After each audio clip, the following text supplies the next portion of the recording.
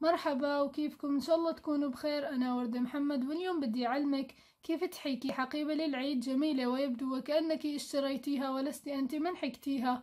سنحتاج إلى خيط من الصوف وأنا استخدمت لعمل الحقيبة خيط Lambkin Cream من شركة Ice Yarns dot com وتركت لكم رابط الخيط إن أردتم شراءه في صندوق الوصف. وأيضا ستحتاجين إلى سنارة وأنا استخدمت في هذا الخيط سنارة مقاس رقم ثمانية.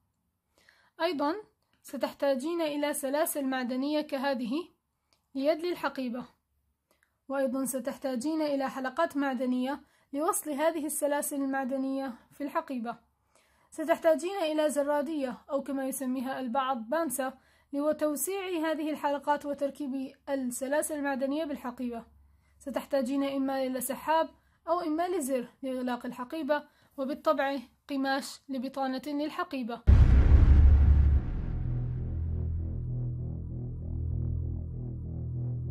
وكما ترين أمامك هذا النوع من الصوف صعب أن نشرح لك طريقة حياكة الغرز عليه لأنها لن تظهر أمام الكاميرا بوضوح. لذلك سأستخدم لشرح الباترون خيط صوف عادي حتى تتضح عليك الغرز. كما ترين أمامك هذا هو باترون الحقيبة وهو بسيط جدا بسبب أن الحقيبة شكلها جميل بسبب خامة خيطها وليس من الغرز. إذا في البداية ستحيكين إحدى عشرة غرزة سلسلة ورقم إحدى عشر هي للارتفاع. وسنحيك أول غرزة حشو على ثاني غرزة سلسلة من طرف السنارة. وسنكمل حياكة الحشو على كل غرزة سلسلة غرزة حشو واحدة حتى أصل إلى آخر غرزة.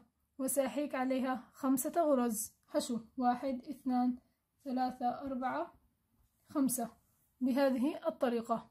ثم تستمرين على كل غرزة سلسلة غرزة حشو واحدة حتى تصلين إلى آخر غرزة أو أول غرزة ابتدأت بها وستحكين عليها أربعة غرز حشو. لأنك في البداية حكتي واحدة هنا. إذا ستكملين هذه اثنتان ثلاثة أربعة خمسة. إذا هنا واحد اثنان ثلاثة أربعة وهنا واحدة أصبح عندنا خمسة. إذا في البداية وكالعادة سأعمل العقدة بهذه الطريقة. ثم سأحيك إحدى عشرة غرزة سلسلة. واحد اثنان ثلاثة. ثم إحدى عشر. بعد ذلك في ثاني غرزة سلسلة سأدخل السنارة وأحيك غرزة حشو. على الغرزة التالية أيضا غرزة حشو. وهكذا على جميع الغرز نحيك على كل واحدة منهم غرزة حشو. سأكمل حتى أصل إلى آخر غرزة وأعود إليكم. وصلت إلى آخر غرزة سأحيك عليها خمسة غرز حشو. إذا هذه واحدة. اثنتان في نفس الغرزة. ثلاثة أربعة ثم خمسة.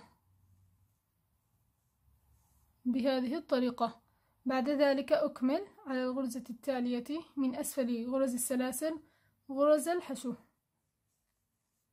بهذه الطريقة.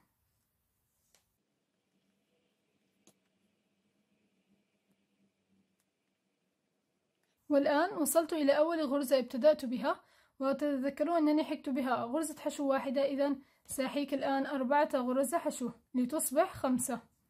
إذا هذه اثنتان ثلاثة أربعة وقد حكت سابقا الخامسة. والآن سأدخل السنارة في أول غرزة حشو وسأحيك. غرزة منزلقة. بهذه الطريقة انتهيت من الدور الأول. في الدور الثاني كما ترين أمامك وهو الذي في اللون الأخضر في البداية سأرتفع بغرزة سلسلة واحدة ثم بعد ذلك على الرقم واحد هذه سأتزايد وأحيك غرزتان حشو ثم سأكمل حياكة غرزة حشو واحدة على كل غرزة حتى أصل إلى هذه الخمسة غرز الحشو في نفس الغرزة كانت في سلسلة واحدة سأحيك على كل واحدة منهم تزايد بغرزتان حشو. ثم سأكمل حياكة غرزة حشو واحدة على كل غرزة هكذا حتى أصل أيضا إلى هذه الخمسة غرز حشو في كان كانت التي كانت في سلسلة واحدة سأحيك بهم تزايد بغرزتان حشو. هنا تذكرون حكنا في البداية أو سنحيك في البداية تزايد سيبقى لدينا أن نحيك أربعة تزايد واحد اثنان ثلاثة أربعة. في البداية سأرتفع بغرزة سلسلة ثم سأحيك على أول غرزة تزايد بغرزتان حشو.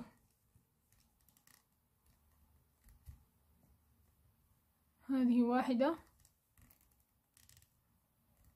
وهذه اثنتان. ثم على التي تليها واحدة وهكذا حتى أصل إلى الخمسة غرز حشو في الطرف الآخر من الدور. والآن وصلت إلى الخمسة غرز حشو هذه واحد اثنان ثلاثة أربعة خمسة.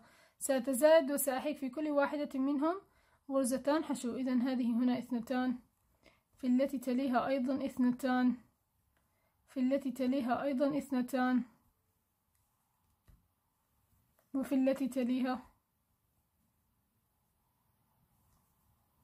وأيضا في التي تليها سأحيك. اثنتان. هكذا. ثم بعد ذلك سأكمل حياكة غرزة حشو واحدة على كل غرزة.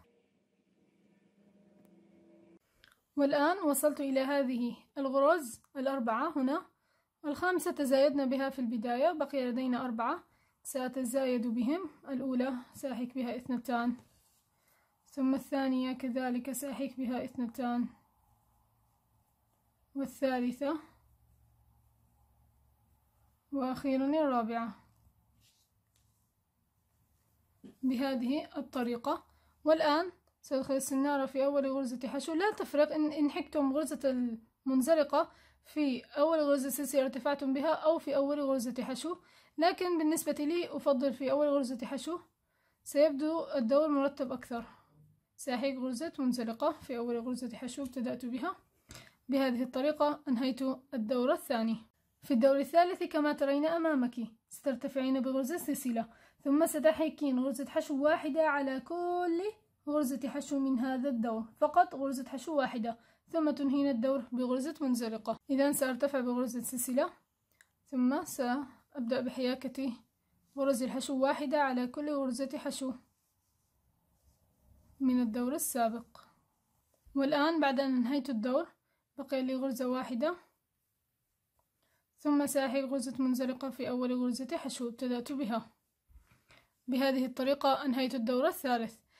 كما ترين أمامك هذه القطعة صغيرة جدا وليست بحجم الحقيبة التي حكتها. في الحقيبة التي حكتها استخدمت نفس عدد هذه الغرز. لكن الفرق أن هذا الخيط ليس بسماكة الخيط الذي استخدمته في الحقيبة. الخيط الذي استخدمته في الحقيبة خيط سميك جدا. الخيط المونس هذا خيط سميك جدا. أما هذا الخيط فهو خيط رفيع لذلك بدت أصغر إذا لا تقلقي استخدمي نفس عدد هذه الغرز لكن بخيط سميك. إذا والآن في الدور الرابع من هنا. كما ترون أمامكم وضعت سهمان هنا وهنا وفقط غرزة حشو واحدة على كل غرزة حشو من الدور السابق. أي أنني أريد أن أشير لكم أننا سنكمل بنفس طريقة هذا الدور الذي باللون الزهري الدور الثالث. نكمل بنفس الطريقة دون أي تزايد دون أي غرزة أخرى. فقط غرزة حشو واحدة على كل غرزة حشو من الأدوار السابقة. حتى تصلين إلى طول الحقيبة الذي ترغبينه أن يكون. سأرتفع بغرزة السلسلة ثم سأبدأ بحياكة غرز الحشو واحدة على كل غرزة حشو.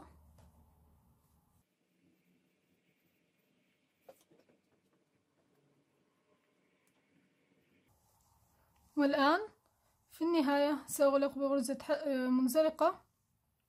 في أول غرزة ابتدأت بها هذا الدور. انظروا معي جيدا. بدأت تتشكل بهذه الطريقة. لأننا لم نعد نتزايد فأصبحت تصعد بهذه الطريقة. إذا والآن الدور التالي أيضا نرتفع بغرز السلسلة ونستمر بحياكة غرز الحشو. إذا سأكمل وأحيك عدة أدوار حتى يصبح حجمها مناسبا بالنسبة لي ثم سأعود إليكم. والآن كما ترون أمامكم حكت مجموعة من الأدوار. طبعا كنموذج فقط لأوضح لكم طريقة حياكة الحقيبة. سأرتفع بغرزة السلسلة ثم سأسحب الخيط. بعد ذلك سآتي من الداخل من هنا. أدخل السنارة هنا. مكان ما انتهيت ثم سأسحب الخيط للداخل. وضعه في الداخل. طبعا هذا بالنسبة للخيط المونس. سنفعل ذلك. والآن سأعلمكم كيف سنركب يد الحقيبة. بعد ذلك سنأتي إلى الحلقة. التي تمسك هذه السلاسل المعدنية. وسندخل بها. سأكبر لكم هكذا. سأدخل بها حلقة. تستطيع نفس الحجم أو حجم أكبر. يعود إليكم. ثم بعد ذلك سأدخل هذه الحلقة. ثم سآتي بهذه وسأغلق سأغلقها بهذه الطريقة. هكذا. هكذا. شكلت يد للحقيبة. الآن سآتي بالحقيبة. ثم من على الزوايا. هنا وهنا. سآتي في الأولى وسأدخلها. هذه مثل الميدالية كما ترون هذه مثل الميدالية. سأدخلها بهذه الطريقة في الغرزة. وتستطيعون خياطتها كخياطة يعني دون إدخالها بهذه الطريقة. هذا الأمر يعود إليكم. هكذا. ثم بالطرف الآخر بنفس الطريقة. هكذا. وضعتم يدا للحقيبة. بعد ذلك علينا أن نحيك البطانة. كما ترون أمامكم هذا نموذج مصغر للبطانة. فقط لأشرح لكم كيف سنخيط البطانة. انظروا معي هذا على هذه الحقيبة. وكما ترون أنني تركت مسافة هنا لأنني أريد أن أثنيها بهذه الطريقة. هكذا. ثم هكذا. حتى يظهر عملنا مرتب أكثر. طبعا الآن سأخيط على الماكينة أو حتى يدويا تستطيعون أن تخيطونها هنا وهنا. وأيضا هذه كما شرحت لكم هكذا سأثنيها وأيضا سأخيطها. إذا كما ترون معي جيدا هنا في البداية سأطوي هذه هكذا ثم هكذا بعد ذلك سأضعها على الماكينة. طبعا أستخدم اللون الأسود لأريكم أي الأماكن التي يجب أن تخيطون عليها لكن أنتم بالطبع عليكم أن تخيطوا بنفس لون القماش.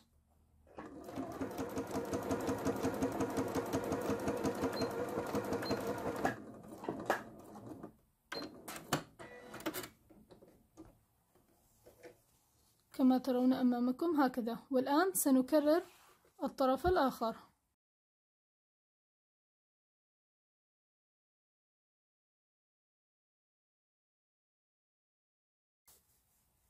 هكذا.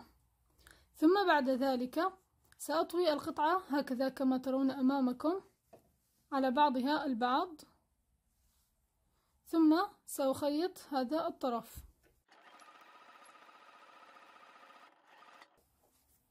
والآن سأخيط الطرف المقابل. طبعا هكذا انتهيت من خياطتها والآن علي أن أحبك الأطراف حتى لا تنتسل. إذا سأغير القدم الخاص بالماكينة.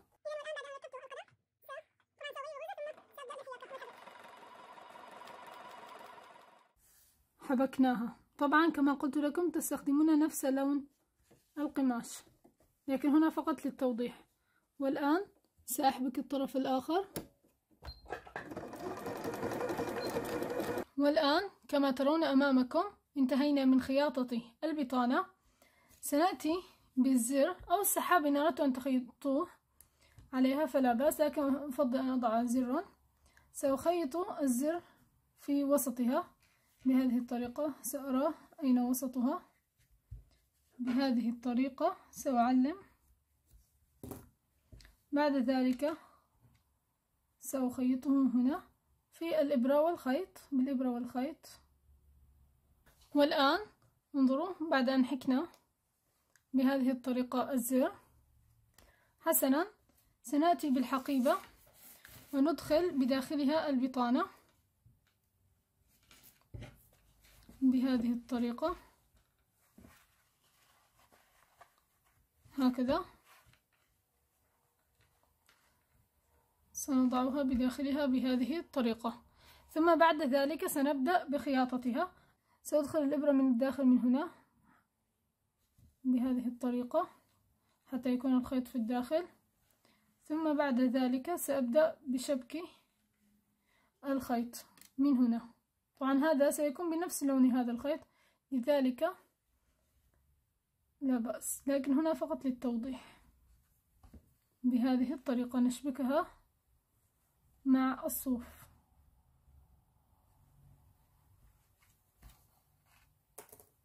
بهذه الطريقة انظروا لا تظهر من هنا وتكون مشتبكة.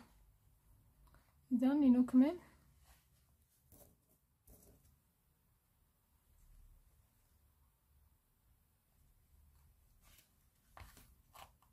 لن خياطة باقي البطانة هنا فقط لأن هذا نموذج للتوضيح. لكن ترون أمامكم هنا في الحقيبة. انظروا معي جيدا. البطانة سوداء والخيط أسود. وأيضا الخيط المستخدم هنا أسود. لذلك لن تظهر فروقات. طبعا نفس الطريقة التي شرحت لكم خياطة البطانة خيطها هنا. بهذه الطريقة هنا بطانة سوداء. ووضعت زر طبعا هذا الزر مقاس أكبر لأن الحقيبة أكبر هنا. وهذه الحلقات انظروا معي التي وصلتها. وضعت حلقتان صغيرتان مع الحلقة الكبيرة. ثم هذه الحلقة التي متصل بها هذه السلاسل المعدنية. بتمنى تكون الحقيبة كان تنفيذها سهل وممتع بالنسبة لك تستطيعين أن تستخدميها أيضا في العيد أو في مناسبات معينة وأيضا يمكنك أن تهديها لصديقتك المقربة أو حتى لأختك أو أيضا لأمك في صباحية العيد. شكرا كثير لمتابعتك لهذا الفيديو. بشوفكم إن شاء الله يوم السبت مع فيديو جديد لطريقة حياكة الرقم ستة. ثلاثي الأبعاد ودمتم في أمان الله.